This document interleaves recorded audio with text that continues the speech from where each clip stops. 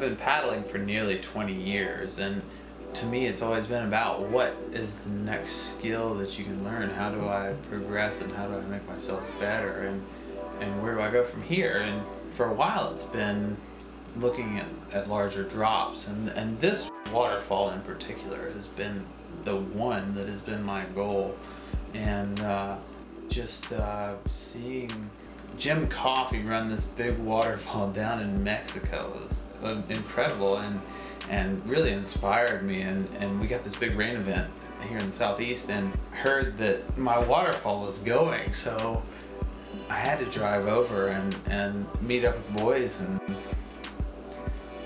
give her.